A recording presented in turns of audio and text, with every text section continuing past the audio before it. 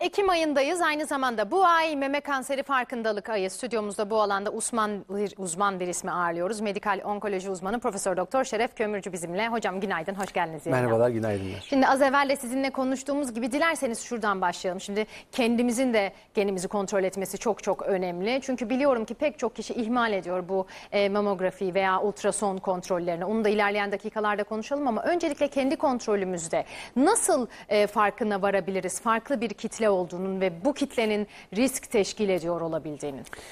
Ee, öncelikle teşekkür ederim bu nazik davetinizden dolayı. Ee, Ekim ayı bildiğiniz gibi meme farkındalık ayı olarak e, kutlanıyor, değerlendiriliyor. Ve bize de e, bu fırsatları vermiş oluyorsunuz. Bu bilinçlenmeyi, e, erken tanı imkanlarını konuşmak, e, mesajlarımızı verme şansı oluyor. Tekrar teşekkür ederim. Rica ederim. Ee, bu çok önemli gerçekten. Ee, meme dışarıda bir organ ve e, bilinçli olarak ayda bir kendisini muayene eden kadın memesindeki farklılığı e, öğrendikten sonra bunun üzerine farklı bir büyüme, yeni bir oluşum var mı yok mu birçoğunu fark edebiliyor.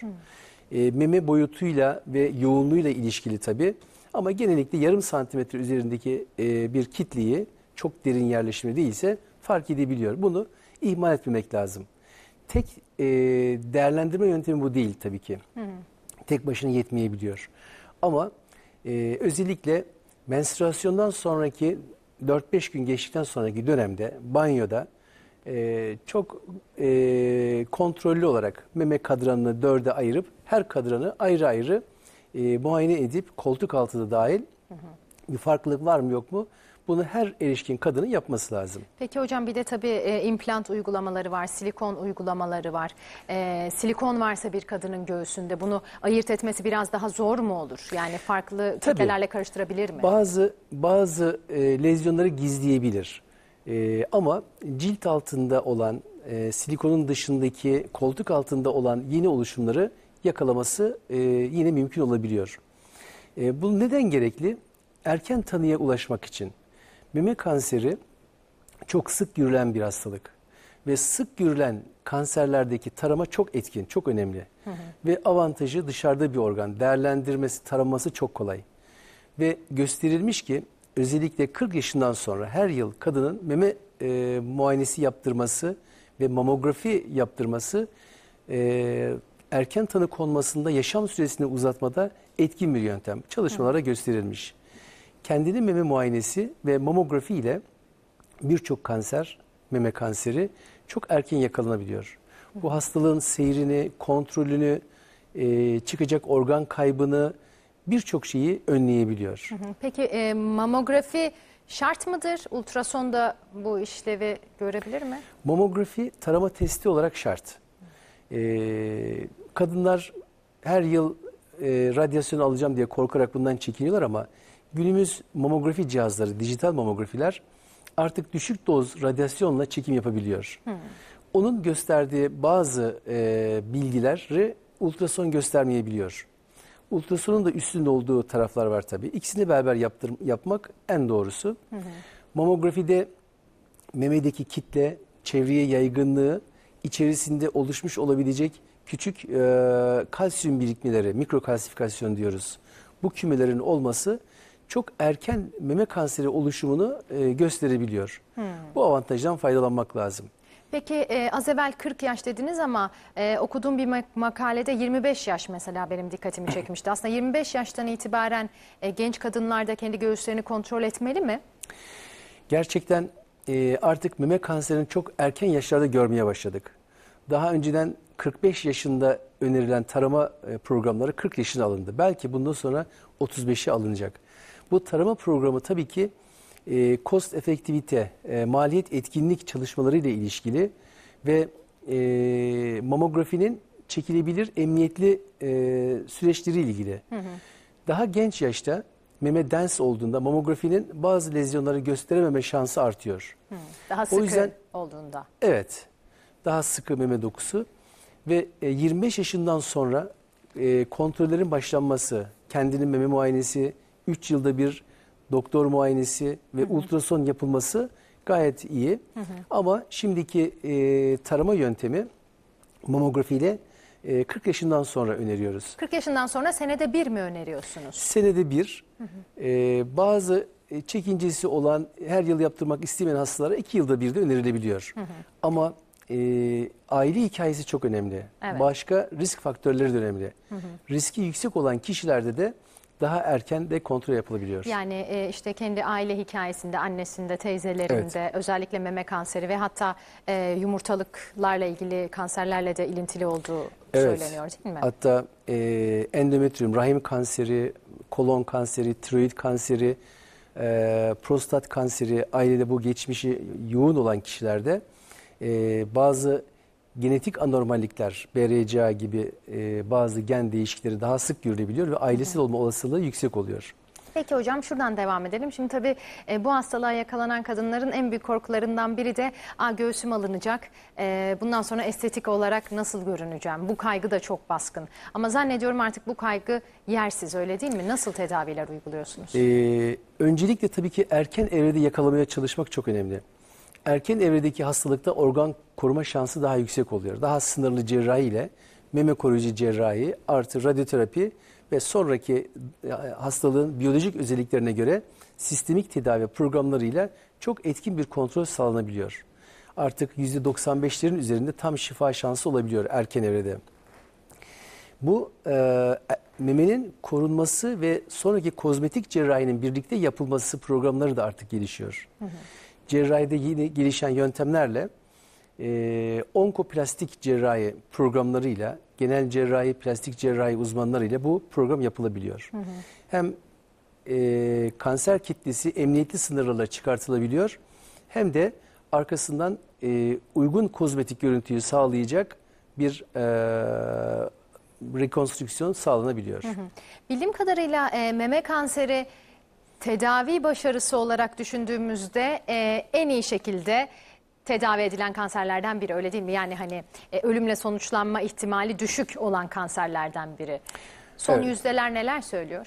Şimdi e, gerçekten meme kanseri e, sayısı artıyor. Bütün dünyada artıyor. Özellikle Batı Avrupa, Amerika'da bu gelişmiş ülkelerde çok daha fazla artmaya başladı.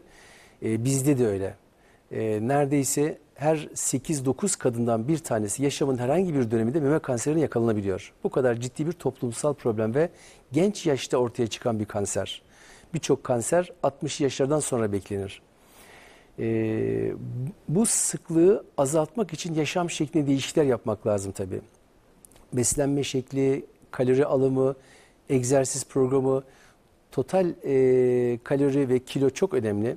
Sigara içilmemesi, bunlarla bu risk azaltılabiliyor. Ve Ama risk her zaman var değil mi? Bazen görüyoruz gayet sağlıklı. Spor yapan, sigaradan, alkolden uzak duran genç kadınlar da yakalanabiliyor bu hastalığa. olabiliyor. Yani genetik miras e, farklı bir boyutta tabii. Ama ortaya çıkan kanserlerin üçte birini ona bağlayabiliriz. Üçte ikisi çevresel faktörlere bağlı. Dönüştürülebilir faktörler bunlar. İşte yaşam tarzındaki değişikliklerle, olumlu değişikliklerle birçok kanser, sadece meme kanseri değil, daha gelişmeden ortadan kaldırılabiliyor. Hem çok etkin hem de çok ekonomik. Peki birazdan meme sağlığından konuşacak olursak hocam hem e, beslenme özelinde hem de ben e, hamileleri ve emziren anneleri de düşünüyorum bir taraftan. Doğum da e, göğüs sağlığına iyi gelen bir durum mudur? Emzirmek de göğüse iyi gelir mi? Bu hep yani halk arasında konuşulan bir şey aslında. Evet, e, doğru bir ifade. E, erken doğum yapan, emziren e, kişilerde de bu risk azalıyor. Meme kanseri risklerinden bir tanesi e, geç e, adetlerin, e, erken adetlerin başlaması ve geç menopozun olması. Yani üretkenlik dönem uzadıkça meme kanseri riski artıyor. Burada riski azaltan faktör erken doğum ve e, emzirme e, oluyor tabii.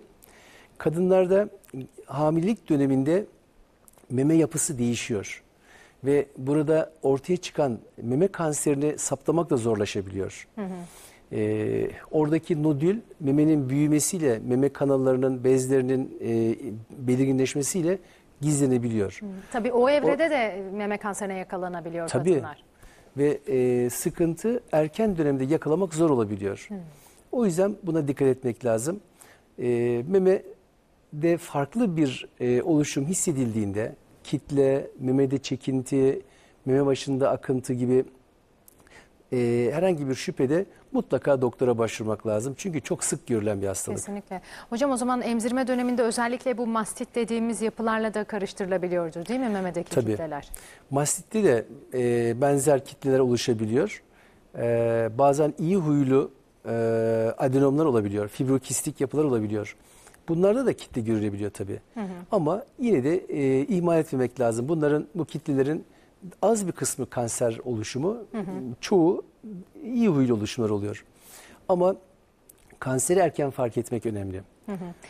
Bir de bir farkındalığa öncülük ediyorsunuz. Şu topun hikayesini de sorayım size bir taraftan kameraya göstererek. Evet.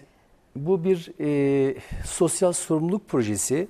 Pembe Top Sahada e, programı. E, burada meme farkındalığını artırmak ve erken tanının önemini vurgulamak için konan bir e, proje. Burada hastanemizle e, Anadolu Efes Spor Kulübü'nün ortak geliştirdiği bir proje ve 2014'ten beri her yıl başarıyla bunu gerçekleştiriyor. Anadolu Efes e, basketbol takımının Euroleague maçlarından bir tanesini e, bir ünlünün, bir ünlümüzün e, top atışıyla, hava, havaya top atmasıyla, başlatmasıyla gerçekleştiren bir program. 8 yıldır bunu yapan 8 tane gönüllü ünlümüze burada çok teşekkür ediyorum. E, bu konuya duyarlılıklarından dolayı. Her yıl e, bu maçın başlangıcında e,